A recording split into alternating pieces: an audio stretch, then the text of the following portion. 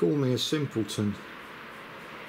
Lying in bed with the door open like this, listening to the sound of the waves.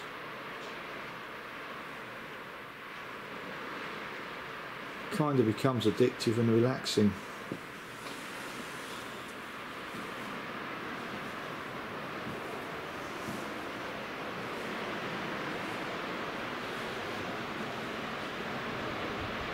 It's sunrise.